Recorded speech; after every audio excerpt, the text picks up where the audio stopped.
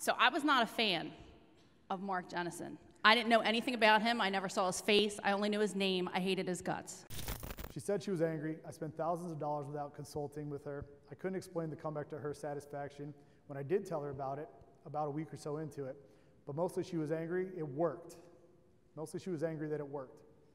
And I was able to find the help I needed from a guy on the internet she knew nothing about and not from or with her. Right? Yeah, that kind of hurts.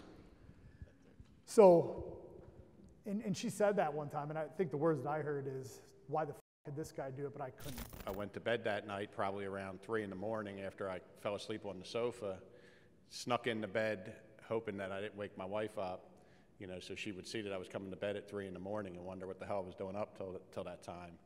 And uh, woke up the next day, and I think it was the first ad that I had seen. Maybe, I, maybe there had been some in my feed I just hadn't paid attention to, but I was just ready. It was 347 pounds at the time. What do you weigh now?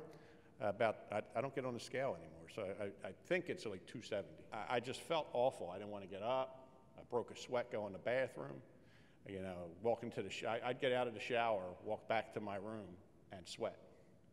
Like my heart was racing. Um, so I was not a fan of Mark Jennison. I didn't know anything about him. I never saw his face. I only knew his name. I hated his guts. I was determined to continue to hate his guts. Um, and that changed dramatically.